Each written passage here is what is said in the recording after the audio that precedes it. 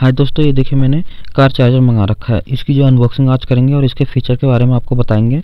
दोस्तों, ये देखिए, इसे मैंने जो क्रेट ऐप से मंगा रखा है, काफ़ी जो है सस्ता मुझे मिल गया ये जो मुझे केवल ढाई सौ रुपये का मिल गया दोस्तों, इसकी क्वालिटी की पैकेजिंग की बात करें तो देख, आप खुद देख सकते हैं कितनी अच्छी जो पैकेजिंग कर रखी है। कंपनी ने और लगता नहीं है कि जो ये हमारा जो है ढाई सौ का चार्जर है, ऐसे तो कीमत में मार्केट में अगर लेने जाएँगे तो कम से कम पाँच सौ या छः सौ का जो है, हमें जो इसकी वैल्यू बताएँगे दोस्तों। लेकिन इसकी एमआरपी जो है, मैंने देखी जो नौ सौ निन्यानवे रुपये है। ये देखिए इसकी पैकेजिंग है और ये देखिए कितना जो है अच्छी इसकी पैकेजिंग है दोस्तों। चलिए मैं आप इसकी एमआरपी दिखाता हूँ, डब्बे पे जो इसकी एमआरपी लिखी हुई है, कितनी है, ये देखिए आप खुद जो है देख सकते हैं। इसके जो डब्बे पे एम लिखी है, nine hundred ninety nine rupees. ये देखिए आप। इसमें देखिए, इतना लिखा हुआ है। दोस्तों, चलिए इसको ओपन करते हैं। ये देखिए, इसके साथ जो कार्ड दे रखा है, इसकी कोई ज़रूरत नहीं है, इसे साइड करते हैं। ये देखिए, हमारा चार्जर है। इसमें दो पोर्ट है।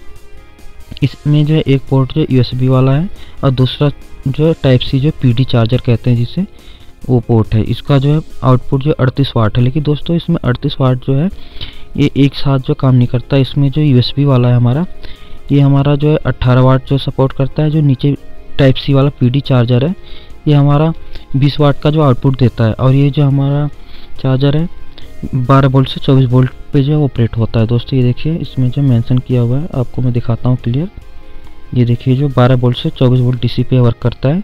चलिए दोस्तों, इसको हम टेस्टिंग करते हैं कार में लगा के। ये देखिए, हमने कार में लगा दिया, इसमें देखिए ब्लू कलर की लाइट जल रही है।